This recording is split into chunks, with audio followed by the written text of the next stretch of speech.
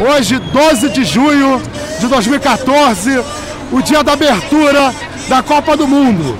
Há sete anos atrás, quando o Brasil foi escolhido para sediar a Copa, a população brasileira acreditou que o dia de hoje ia ser um dia de festa. Mas o dia de hoje está sendo um dia de protesto, um dia de manifestação. A Copa do Mundo serviu para a população perceber que existem recursos no Brasil para se investir nos serviços públicos de qualidade.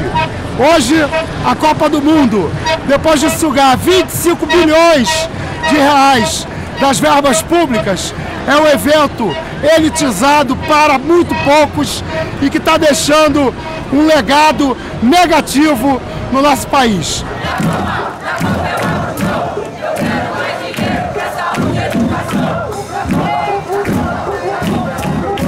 É, todas as promessas que foram feitas, a gente vê que não foram cumpridas.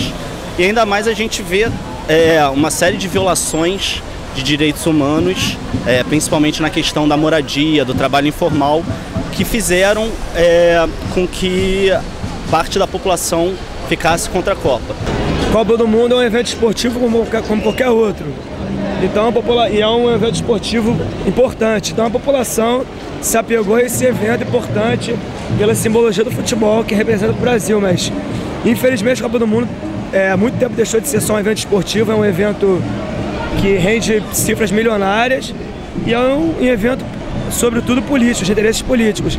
E aí a máscara caiu e, a, e o que apareceu foi esse lado político, esse lado do dinheiro, do desrespeito aos direitos é, fundamentais. E aí, somado à revolta que a população já tem com a moda de fazer política, isso foi o pavio que acendeu e explodiu o que aconteceu.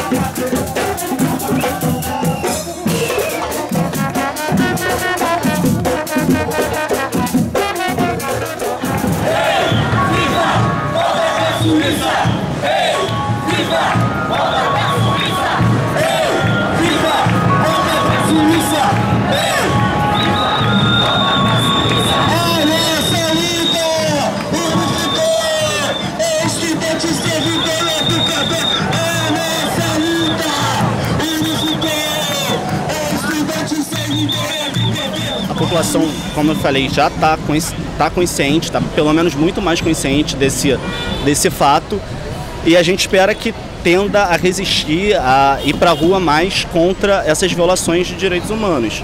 É, eu acho que eles vão ter muito mais dificuldade é, para a preparação da, das Olimpíadas, que promete ser mais ou menos a mesma coisa do que tem acontecido, né? Privatização dos espaços públicos, é, remoções, muito concentrado na Barra, é, projetos de mobilidade urbana que não atende a população, que atende somente as empresas.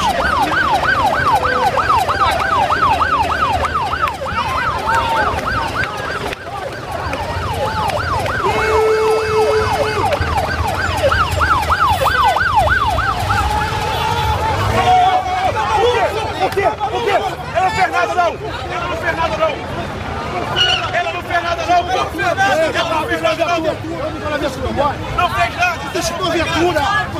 Bom, pessoal, a gente tem que regravar agora o final do nosso material, porque o ato estava ótimo, tinha acabado tudo bem, e já na dispersão a Polícia Militar gratuitamente atacou a manifestação. Mais uma vez, a gente vê que não existe democracia no Brasil. Democracia ainda é algo que a gente precisa conquistar.